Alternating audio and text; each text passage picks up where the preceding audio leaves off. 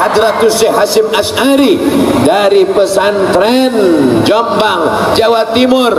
Maka mereka meneriakan takbir Allahu Akbar.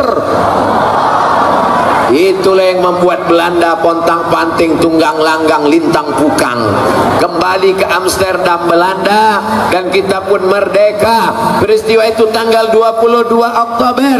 Dari 22 Oktober ke 10 November kita merdeka karena darah para syuhada. Untuk para syuhada yang sudah mengorbankan nyawanya hartanya anaknya keluarganya. Untuk mereka semuanya Al-Fatihah